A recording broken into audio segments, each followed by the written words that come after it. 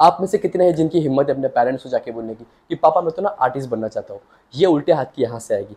फिर मम्मी के मम्मी के पास जाओगे, ऐसे घूमते घूमते। फिर मम्मी को, मम्मी, मैं तो यूट्यूबर बनना चाहता हूँ। वो दूसरे हाथ से मम्मी की आएगी, है ना?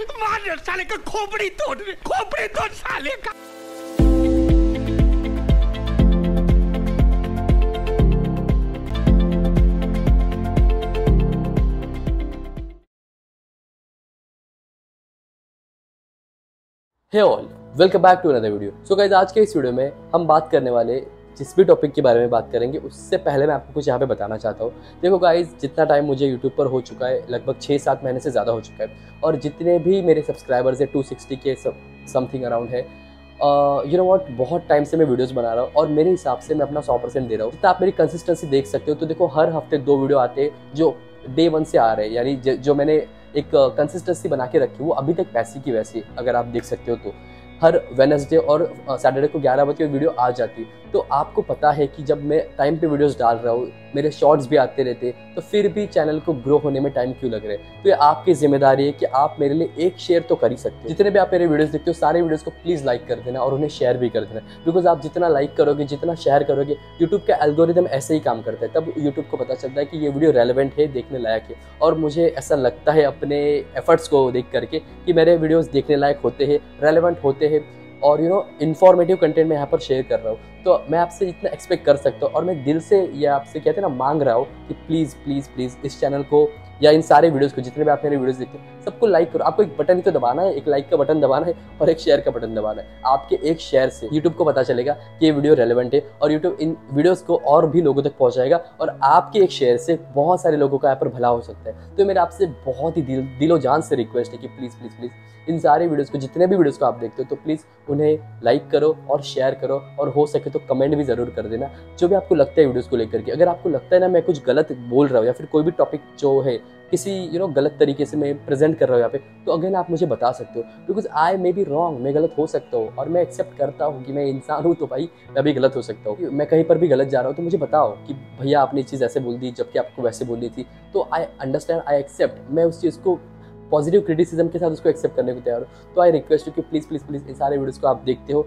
तो प्लीज़ देखते समय इसको एक लाइक कर दो, एक शेयर कर दो और अपने दोस्तों तक इन्हें पहुँचाने की कोशिश करो। बिकॉज़ आपके शेयर से आपके दोस्तों का भी भला होगा। उस और जो, जितने भी लोग आगे जाकर के वीडियोज़ को देखेंगे तो उन सारे लोगों की लाइफ में कहीं ना कहीं ये जा करके कुछ ना कुछ तो इम्पैक्ट हो जाएगा। और जो लोग डिप्रेशन में एनजाइटी में यू नो बहुत सारी चीज़ों में इंडल्ज हो चुके हैं या फिर उनको ओवरकम नहीं, कर पा रहे तो उनका भी यहाँ पर बेनिफिट हो जाएगा और उस बेनिफिट का सारा क्रेडिट आपको जाएगा अगर आप इन वीडियोज़ को शेयर करते हो तो। तो बस यही बोलना चाहूँगा। थैंक यू सो मच आज के इस वीडियो में हम बात करने वाले हैं चॉइस के बारे में। आपकी चॉइस मेरी चॉइस आपके पेरेंट्स की चॉइस मेरे पेरेंट्स की चॉइस मेरे फैमिली वालों की चॉइस सबकी चॉइस क्या होती है, हम सारी बातें यहाँ पे करेंगे। चॉइस को अच्छे से समझने की कोशिश करेंगे कि हम लाइफ में जो भी चीज़ें करते हैं, उसका इम्पैक्ट हमारे ऊपर क्या होता है। कैसे गलत चॉइस हमको गलत चीज़ों में लेके जा सकती है। सब कुछ यहाँ पे समझने की कोशिश करेंगे। सबसे पहले यहाँ पे समझने की कोशिश करते कि चॉइस क्या होती है। देखो, आपको कुछ पसंद है, मुझे कुछ पसंद है, आपके लाइफ के कुछ एस्पिरेशन है, मेरे लाइफ के कुछ एस्पिरेशन है। इन सारे एस्पिरेशन को जब हम फुलफिल करने की कोशिश करते that is what your choice वो आपकी चॉइस होती है। जैसे किसी को क्रिकेटर बनना है, किसी को फुटबॉल पसंद है, उसको कोई फुटबॉल प्लेयर बनना है, किसी को आई ऑफिसर बनना है यूपीएससी क्रैक करना है, जो आपके करियर गोल्स है that is what your choice ना सिर्फ़ करियर गोल्स बट आप लाइफ में जो भी करते हो वो सारी की सारी आपकी चॉइस होती है। जिसको कोई यू नो पर्टिकुलर सब्ज़ी पसंद है, किसी को कोई ड्रेस पसंद है किसी को बीटीएस पसंद है यहाँ पर, ये सारी आपकी चॉइस होती है। इन सारी चॉइस में तो कोई बुराई है नहीं, उसमें कोई दिक्कत नहीं है कि आपको यू नो ये पसंद है, वो पसंद है, कोई कलर पसंद है। एनीथिंग फॉर दैट मैटर जो आपको पसंद है, उससे कोई फ़र्क नहीं पड़ता आपकी पर्सनल लाइफ के ऊपर। अगर हम करियर की बात करते हैं तो वहाँ पर आपको फ़र्क पड़ता है।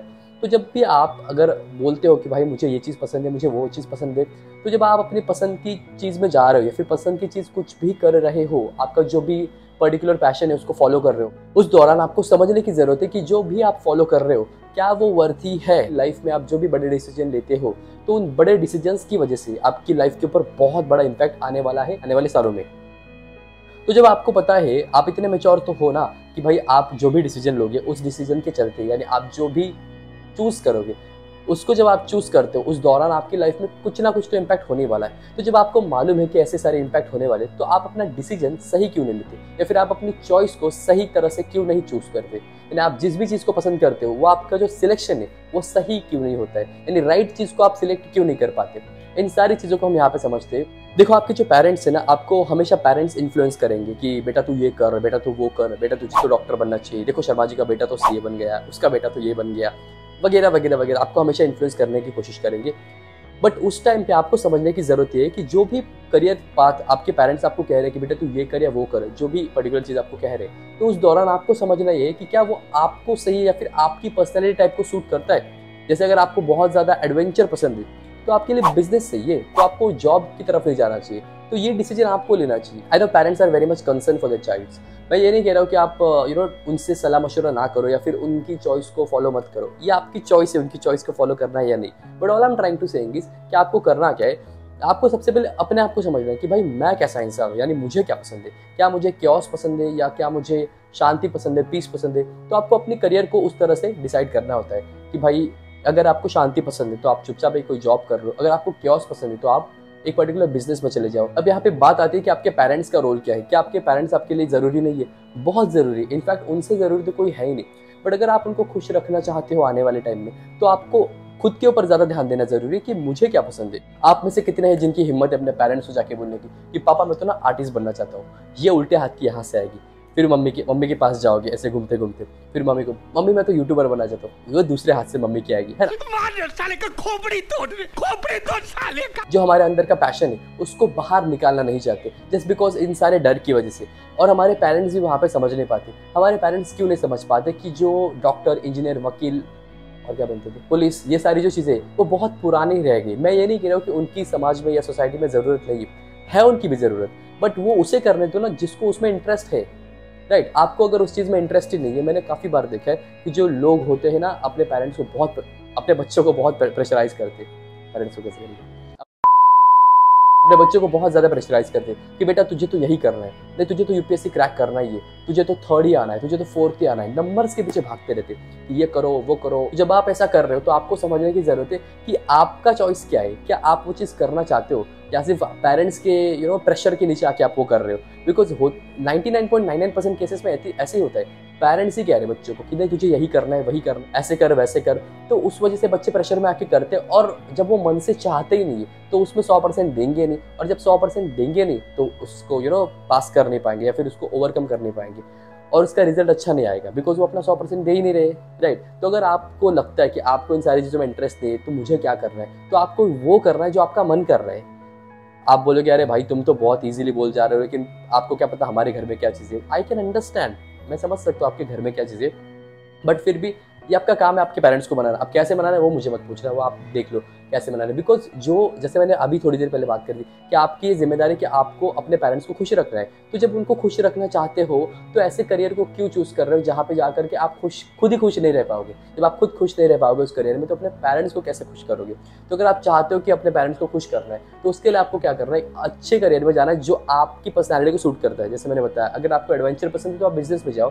अगर आपको शांति पसंद है तो आप यू नो कोई जॉब कर लो या जो भी चीज़ में आपको इंटरेस्ट हो, आप कर लो। तो उसके लिए आपको जानना पड़ेगा कि मेरे को किसमें इंटरेस्ट है और उस चीज़ को आपको करना है। अब बात करते हैं शादी के टाइम पे। शादी के टाइम पे भी क्या होता है, आपको बहुत बार ऐसे होता है कि पेरेंट्स अरेंज मैरिज करवा देते हैं या पता नहीं आपका लव मैरिज है तो उस दौरान वो चीज़ें हो नहीं पाती है, वगैरह वगैरह वगैरह। तो पेरेंट्स को सीधे बोल देना, देखो भाई, मैं आपके हाथ जोड़ता हूँ, मुझे सिर्फ़ शादी का और मेरे करियर का, ये दो डिसीज़न मुझे खुद लेने दो। बाकी आप जो बोलोगे वो डिसीज़न में लेने को तैयार हो। यानी जो भी चीज़ बोलोगे मैं उसको करने को रेडी हूँ। बट बिकॉज़ ये दो जो डिसीज़न है ना, वो बहुत ज़्यादा क्रुशल और बहुत ज़्यादा ज़रूरी होते हैं। बिकॉज़ जिस भी करियर में आप जाओगे, जो भी आप फ़ील्ड चूज़ करोगे, उस फ़ील्ड के साथ आपको पूरी ज़िंदगी निकालनी है। और जिस भी पार्टनर के साथ आप शादी करोगे, उसके साथ भी आपको ज़िंदगी निकालनी होती है। तो इस दौरान ये जो दो चीज़ें आप करते हो तो दो चीज़ें करते हुए आपको खुद को डिसीज़न लेना चाहिए और आपको जो सही लगता है उस अकॉर्डिंग आपको एक्ट करना चाहिए। यानी किसी के प्रेशर में आके आप ये चीज़ नहीं करनी चाहिए कि नहीं, उन्होंने बोला इसलिए मैंने शादी कर ली और आज देखो दस साल के बाद पता चल रहा है कि कितने झगड़े हो रहे है ना? ऐसा कुछ नहीं होना चाहिए। तो ये सारी चीज़ें आपको समझने की ज़रूरत है कि जो लाइफ की दो बहुत ही इंपॉर्टेंट डिसीज़न होते हैं, वो आपको खुद को लेने होते हैं। देखो, हम कब से ये सारी बातें कर रहे हैं कि शादी पेरेंट्स करियर ये, वो। बट मेरा जो टॉपिक है वो ये है ही नहीं। मैं अपने मेन टॉपिक पे अभी तक आया ही नहीं मेरा मेन टॉपिक ये है चॉइस के बारे में कि आपकी चॉइस क्या होती है। अरे कहना क्या चाहते हो? देखो शादी की बात हो या करियर की बात हो वो तो मैंने आपको एक बैकग्राउंड क्लियर किया चॉइस को समझाने के लिए कि चॉइस क्या होती है। यानी आप अपनी लाइफ में जो भी चीज़ें करते हो तो उस दौरान आपकी चॉइस होती है वो। अब आते हैं हमारे मेन टॉपिक के ऊपर जो है चॉइस और चॉइस किसकी बात कर रहा हूँ यहाँ पे? आपके चॉइस की बात कर रहा हूँ। यानी आपका कौन सा चॉइस है यहाँ पर? आपकी लाइफ का चॉइस जैसे आप ग्रो कर रहे हो पंद्रह, सोलह, सत्रह साल, जब आपकी एज है, उस दौरान ये बहुत ही क्रुशियल टाइम होता है कि कहाँ पर आप गिर सकते हो और कहाँ पर आपको अपने आप को बचा के रखना है। तो इस दौरान आपको ना बहुत ही यू नो फूक फूक के कदम रखने पड़ते हैं। तो ये आपकी चॉइस है। कि आपको क्या करना है अपनी लाइफ में। बिकॉज़ काफ़ी बार क्या होता है ना, आप गलत चीज़ों में चले जाते हो, या फिर जैसे कहते हैं ना सिगरेट फूकने लग गए, या पता नहीं क्या क्या आप करने लग जाते हो तो ये बहुत ही क्रुशियल टाइम होता है आपकी ज़िंदगी का, जहाँ पर आपको एक सही डिसीज़न लेना होता है। बिकॉज़ आप इतने सारे लोगों से मिलते हो, सुबह से लेकर रात तक, जैसे स्कूल में, फिर आपके घर आते हो, फिर आपके फ्रेंड्स होते, और बहुत सारे कॉन्टैक्ट्स होते हैं सोशल मीडिया पे आप काफ़ी लोगों से मिलते हो, उनसे इन्फ्लुएंस हो जाते हो तो आपको लगता है कि वो कर रहा है ना तो सही कर रहा है तो मैं भी कर लेता हूँ, मेरा दोस्त कर रहा है है ना, मेरा फेवरेट एक्टर कर रहा है, वो कर रहा है, ये कर रहा है। तो इन सारी चीज़ों को मद्देनजर रखते हो आपको ऐसा लगता है कि कोई दिक्कत नहीं, कर लेते, सही है। तो आपको ध्यान देने की बहुत बहुत ज़रूरत है यहाँ पर कि नहीं, ये आपकी चॉइस है कि आपको क्या करना है। देखो, मैं कोई नहीं हूँ या फिर कोई भी आके आपको नहीं बताने वाला बिकॉज़ किसी ने किसी का ठेका नहीं लिया यहाँ पे। मैं अगर आपको पर्सनली आके बताऊँ ना एक एक बच्चे को समझा के कि, बेटा तू ये कर, बेटा तू वो मत कर तो कोई नहीं सुनने वाला है। बिकॉज़ ये सब्जेक्टिव टॉपिक है ही नहीं। मैंने अपने एक वीडियो में बोला था कि समझाना कहीं एग्जिस्ट नहीं करता है। एग्जिस्ट करता है तो वो है समझना। यानी हर एक इंसान को खुद से समझना चाहिए। समझाना कहीं है ही नहीं जो मैं आपको आके समझाऊं कि भाई ये करो या वो करो। क्योंकि ये तो आपकी चॉइस है। मैं तो ऑब्जेक्टिवली यहाँ पे बोल सकता हूँ कलेक्टिवली यहाँ पे बोल सकता हूँ कि ये सही है, वो गलत है। बट ये आपको चूज़ करना है कि आपको क्या करना है। सही को लेकर के चलना है या गलत को लेकर के चलना है, ये आपकी चॉइस है।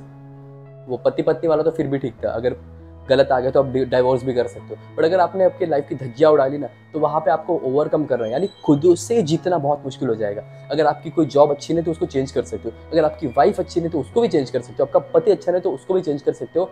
डिवोर्स लेकर के। बट अगर आपकी खुद की लाइफ या खुद को कैसे चेंज करोगे, खुद को चेंज करना यहाँ पे बहुत ही मुश्किल हो जाता है है ना? इसीलिए मैं यहाँ पे सारी बातें आपको अभी से बता रहा हूँ। ये जो तीस चालीस साल के हो चुके हो और आपकी एक लत, आपको एक लत लग चुकी है तो उस टाइम पे आपको सही करना बहुत मुश्किल हो जाएगा। इसीलिए मैं आपको ये सारी बातें अभी बता रहा हूँ कि अगर आप पंद्रह, बीस, पच्चीस साल के एज में हो तो आप बहुत ही लकी हो और ये सारी बातें आप, आपको सुनने का मौका मिल रहा है। तो इन सारी बातों को समझो और आप की चॉइस आप खुद डिसाइड करो यहाँ पर कि आपको क्या करना है लाइफ में। क्या आपको भी ऐसे सिगरेट दारू, पता नहीं गलत गलत चीज़ों में इंडल्ज होना है? या फिर आपको भी एक आइडल लाइफ जीने जब अपने बच्चों से बात करते हो तो मुझे समझ में आता है कि वो सब मुझे बोलते हैं कि, अरे सर लाइफ में बहुत कम है लाइफ में ये है, वो है। मैं एक स्टूडेंट से मिला, उनसे जब मैं बात कर रहा था तो उन्होंने अपने बाल काट दिए। तो अब मुझे बहुत बुरा लगा। मैंने कहा, भाई, तुम्हारे बाल इतने तुमने बाल क्यों काट दिए? तो कह रहे, सर लाइफ में कुछ चीज़ें हो गई थी, उस वजह से पास्ट मेमोरीज बार बार याद आ रही थी तो मैंने बाल काट दिए। आई वॉज़ लाइक अरे यार, तुम्हारी एज ही कितनी है? पंद्रह साल के तुम हो नहीं, और पंद्रह साल में तुम्हारे साथ हो क्या गया? है ना? पाँच साल तक तो तुमको खुद को कोई समझती नहीं। पाँच साल तो तुमने जिए, और उसके पाँच साल में क्या हो गया? यानी तुमने जब, जैसे उन्होंने बोला कि पास्ट में कुछ चीज़ें हो गई तो पास्ट कौन सा है तुम्हारा? पंद्रह साल में कौन सा पास्ट है? I don't get this people तो आप ऐसे क्यों करते हो? अगर वो वीडियो देख रहे होगी तो समझ लेना, मैं तुम्हारी बात कर रहा हूँ। जबकि तुम्हें ऐसा नहीं करना था इसके लिए बोल रहा हूँ, गलत मत समझना। So all am trying to Seng कि आपको समझने की ज़रूरत है यहाँ पर कि आपकी ज़िंदगी की धज्जियाँ मत उड़ाओ। लाइफ बहुत सही है, बहुत ब्यूटीफुल है। आप अगर इसको सही से देख सको तो। बस आँखें होनी चाहिए आपके पास देखने के लिए। आँखें यानी आँखों की बात करो, नज़र की बात करो। नज़र होनी चाहिए आपकी। आँखों से तो हर जानवर भी देख लेते हैं। बट अगर आपके पास सही नज़र है तो आप सही नज़र से अपनी लाइफ को देखो जरा। कितनी ब्यूटीफुल है ज़िंदगी। इतनी सारी चीज़ें हैं करने के लिए। जस्ट इमेजिन इतनी बड़ी अर्थ है, इतना बड़ा ब्रह्मांड इतना बड़ा यूनिवर्स है। आप कहाँ नहीं जा सकते। बशर्ते आपको उतना सीखना पड़ेगा, है ना? एटलीस्ट आप पूरी दुनिया तो घूम सकते हो अर्थ पे तो घूमना पॉसिबल है। अगर आपके लाइफ में ट्रेजेडीज हो जाती है, जैसे उन्होंने बोला था तो अगर आपको ऐसा लग रहा है कि यार बहुत प्रॉब्लम हो गई, ये हो गया, वो हो गया तो इन सारी चीज़ें करने से बेटर क्या है? आप इन सारी चीज़ों को ओवरकम कर सकते हो नेचर से जुड़ करके। तो नेचर से जुड़ो ना, ये भी आपकी चॉइस है। आपकी ज़िंदगी की धज्जिया उड़ानी है या ज़िंदगी को बनाना है, ये सब कुछ आपकी चॉइस होती है। तो आपको समझने की ज़रूरत है यहाँ पर कि क्या सही है, क्या गलत है, क्या करना चाहिए, क्या करना नहीं चाहिए। ये तो हमने बात करी उन सारे लोगों की जो अपने लाइफ को सही दिशा नहीं दे पाते।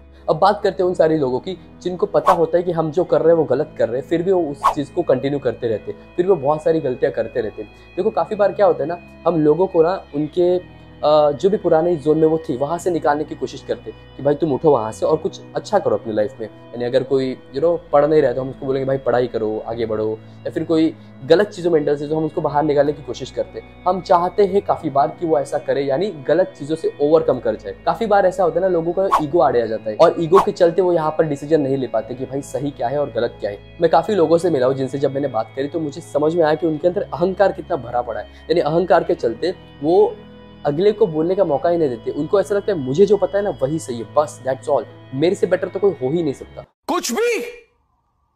कुछ भी! और जो मुझे लगता है वही सही है। तो ऐसे लोगों के लिए क्या करना चाहिए? मुझे समझ में आता है। ऐसे लोगों ने अपने दिमाग को बंद करके रखा होता है। तो अगर आपको लाइफ में ग्रो करना है तो आपको ऐसा नहीं होना चाहिए। रिजिड मेंटालिटी या फिर रिजिड पर्सनैलिटी आपकी नहीं होनी चाहिए। आपको ओपन अप आपको ओपन रहना है। आपको सीखने के लिए ओपन रहना है। नई नई चीज़ों को अपने लाइफ में सीखना बहुत ज़रूरी होता है। अगर आपको लगेगा कि मुझे सब कुछ पता है तो आप नया कुछ पता कर ही नहीं सकते। अगर आप चाहते हो कि आपको बहुत सारी चीज़ नई नई चीज़ें सीखनी है, तब तो आप सीख सकते हो ना। अगर आपने अपने आप को ओपन रखा लर्निंग के लिए, अगर आपको कोई आके कुछ बताता है, आपके फ्लॉज भी बता रहा है, अगर आप कहीं गलत कर रहे हो, वो आपको बता रहा है तो उसको सीखो ना, समझो ना। एक्सेप्ट करो ना एक्सेप्ट क्यों नहीं करते? जस्ट बिकॉज़ उनकी जो मेंटालिटी है वो रिजिड हो चुकी है। उनको लगता है भाई मुझे जो पता है वही सही है और तुम्हें तो कुछ पता ही नहीं है। उनको ऐसा लगता है कि आप उन्हें नीचा दिखाने की कोशिश करो जबकि आप उन्हें नीचा नहीं दिखा रहे होते आप हमेशा ट्राई करते हो कि उनके साथ कुछ अच्छा हो या फिर यू you नो know, उनको समझाने की कोशिश करते हो जस्ट बिकॉज़ आप उनका भला चाहते हो। ये सारी चीज़ें तो है। और एक यहाँ पे स्टैंड पर निकल के आता है कि क्या आपने उनका ठेका लिया है?